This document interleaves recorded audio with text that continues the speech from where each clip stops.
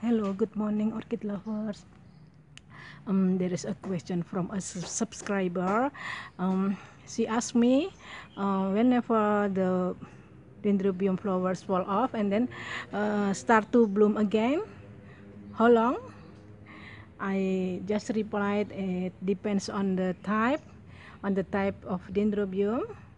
Dendrobium here that I saw you this is a dendrobium that generous and blooming because uh, three months ago she bloomed and now rebloom here. Uh, the first spike from uh, leafless cane with two spike here with two spike and we can see the gorgeous um, purple reddish purple here and the second spike from the again that is not leafless again here.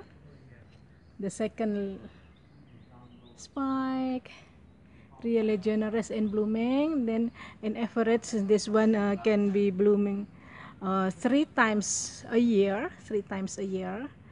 This uh, dendrobium hybrid uh, get attached to the tree red guava tree and really easy to maintain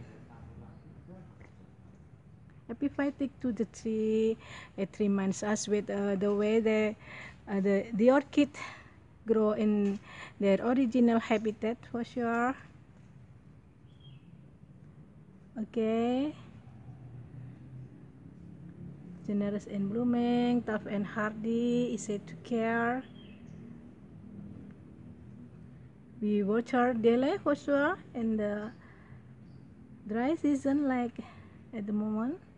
Thank you guys. Happy growing. Have a great day. Bye.